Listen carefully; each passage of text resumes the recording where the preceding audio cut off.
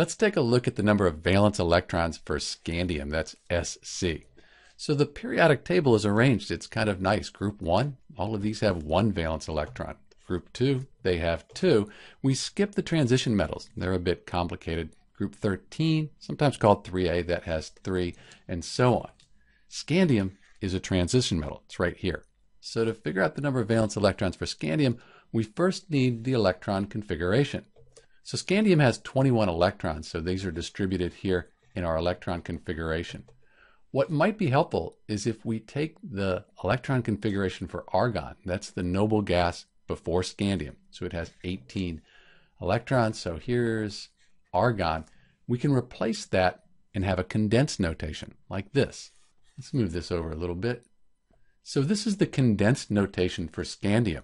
For transition metals, one definition of the valence electrons for transition metals, it says that transition metals, their valence electrons are the electrons that reside outside the noble gas core. This is the noble gas core.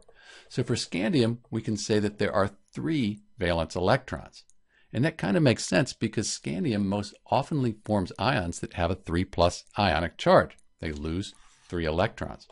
So based on our definition and what we see when scandium forms ions, we can say that scandium, Sc here, has three valence electrons.